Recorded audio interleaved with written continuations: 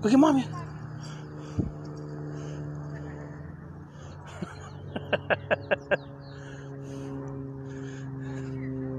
That's right.